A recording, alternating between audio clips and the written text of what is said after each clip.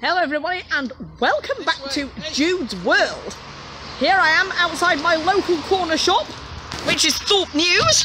We're going to go in and we're going to see what happens.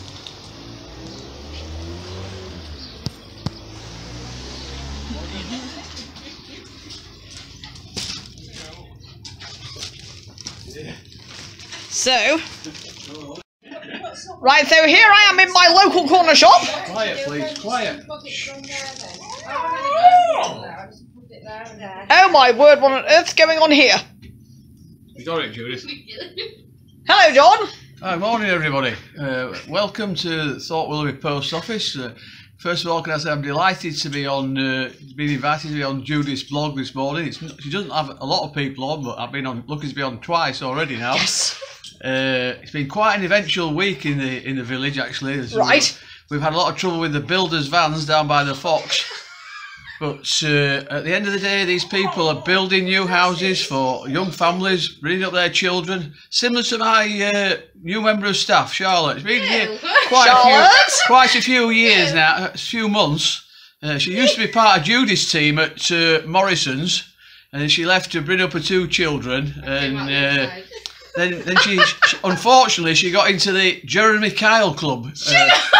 We, we all know we all know what that is. It's a question of you. You take your kids to school, you come home, you get you watch Jeremy Kyle, you get an energy drink and a big packet of Pringles. You, you, you balloon up to 15, 20 stone.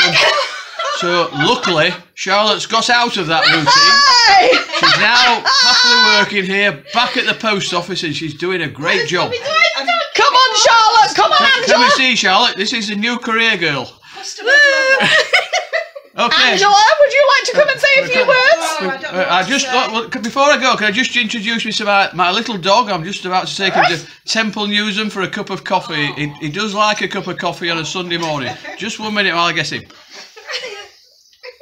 Hello! This, this, Hello, this- Alfie! This is Alfred. Hello! Or be- better, better, better known as Alfie. Lovely little dog, Little only four years old. Anyway, that's all for this week. Bye bye. There we are, you saw it here first, folks! That was John! Don't you just love him? I just wanted to conclude today's vlog by saying a few very quick hellos and a couple of shout outs. First of all, I'd just like to say a massive thank you to Muriel's gang for winning the pub quiz on Thursday night at the Owl. Thank you, ladies. And also, a very big thank you has to go to John, Angela, Charlotte, and Alfie the dog round at the corner shop this morning for being such fantastic sports. So, thank you very much, everybody. And finally, I just had time for just a couple of very, very quick hellos. Hello to Cody, Callum, and Kai. Chloe wishes Jean a very happy birthday. Mia Louise says hello, Holly. And Jules says hello, Ollie. Poetic moment there.